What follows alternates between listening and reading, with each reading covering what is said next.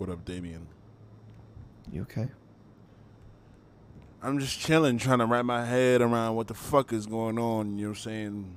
Don't seem like anybody's fucking coming down here, but um, everybody's like going cur- going uh, crazy. I assume.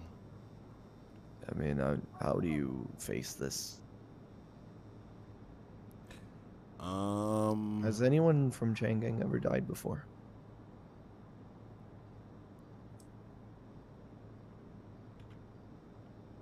Yes.